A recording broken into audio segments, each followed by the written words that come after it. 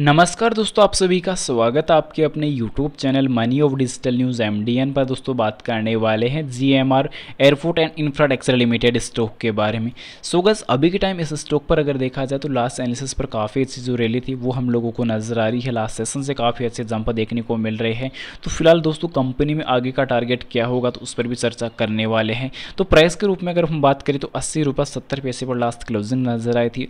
फ़िलहाल दोस्तों, अभी के टाइम इस स्टॉक पर जो लगातार रेट ली जो रिटर्न्स के तौर पर नज़र आई। जैसे कि हम पाँच सेशन की अगर खासकर बात करें तो उसमें हम लोग को गिरावट नज़र आई। क्योंकि दोस्तों चौरासी रुपये पचानवे पैसे से गिरकर इस स्टॉक में गिरावट जो बढ़कर देखने को जो नज़र आई, वो अठहत्तर रुपये पच्चीस पैसे तक भी नज़र आई। पर एवरेज प्राइस जो है, वो काफ़ी अच्छी रिकवर होती हुई नज़र आई। क्योंकि अगर हम बात करें लास्ट एक महीने की तो लास्ट एक महीने में दोस्तों रिकवरी काफ़ी अच्छी नज़र आई है। क्योंकि दोस्तों ऑलरेडी हम लोग को जो देखने को मिला कि मार्च के महीने में खासकर दोस्तों इस स्टॉक पर काफ़ी ज़्यादा गिरावट नज़र आई। और मार्केट में जो डाउन ट्रेंड था, वो कहीं ना कहीं काफ़ी ज़्यादा नज़र आया।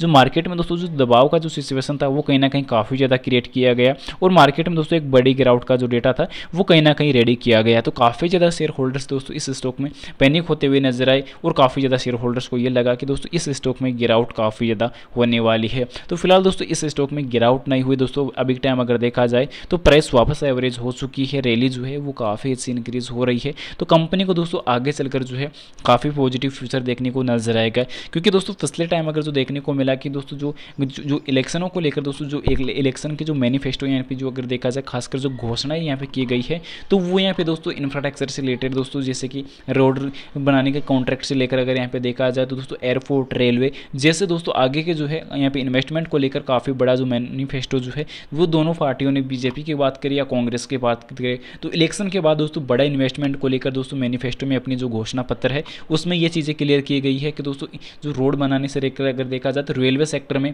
और अगर देखा जाए तो परिवहन सेक्टर में दोस्तों जो है रेल बना रेलवे सेक्टर में अगर देखा जाए तो काफ़ी बड़ा इन्वेस्ट होने का चांसेस है। और दोस्तों ऑलरेडी मैनिफेस्टो में दोस्तों ये ऑलरेडी काफ़ी बड़ा जो इन्वेस्टमेंट को लेकर यहाँ पे जो डेटा है, वो यहाँ पे जारी किया गया है। तो कंपनी ऑलरेडी दोस्तों गवर्नमेंट पी स्टॉक के तहत यहाँ पे जानी जाती है। तो कहीं ना कहीं इस स्टॉक में बढ़िया रैली देखने को नज़र आएगी। क्योंकि दोस्तों कंपनी का जो कारोबार है दोस्तों विदेशों तक यहाँ पे देखने को मिल रहा है। कंपनी का विदेशों तक दोस्तों कारोबार रहा है। तो कहीं ना कहीं दोस्तों इस स्टॉक में अगर देखा जाए तो काफ़ी अच्छा रैली रिटर्न के तौर पर नज़र आएगी। तो इन्वेस्टमेंट बनाने लायक जो डेटा है, वो कहीं ना कहीं पॉजिटिव है। रही बात दोस्तों डिविडेंड बोनस की तो कंपनी का दोस्तों वर्तमान टाइम में जो डिविडेंड बोनस है, वो कुछ अवेलेबल है नहीं। पर आगे चलकर कंपनी की जो डिविडेंड बोनस है, वो पे आउट करने की क्षमता रख सकती है। रीज़न क्या होने वाला है कि कंपनी के अंदर दोस्तों प्रमोटर्स की होल्डिंग उनसठ प्रतिशत है और कंपनी के लगातार प्रॉफिट और सेल्स की ग्रोथ में एक बड़ी रिकवरी और रैली नज़र आ रही है। तो कहीं ना कहीं जंप देखने को नज़र आएँगे। रैली जो है काफ़ी अच्छी बढ़ती हुई नज़र आएगी। तो इन्वेस्टमेंट करने लायक जो डेटा है, वो कहीं ना कहीं पॉजिटिव नज़र आएगा। तो जितना हो सके दोस्तों, अभी टाइम इस स्टॉक को होल्डिंग पर बना सकते हैं। फ़िलहाल वीडियो पसंद आए तो वीडियो को लाइक चैनल पर नए हो, दोस्तों चैनल को सब्सक्राइब और जानकारी को ज़्यादा से ज़्यादा शेयर ज़रूर शेयर कर देना। मिलते हैं नेक्स्ट अमेजिंग वीडियो के साथ। जय श्री कृष्ण।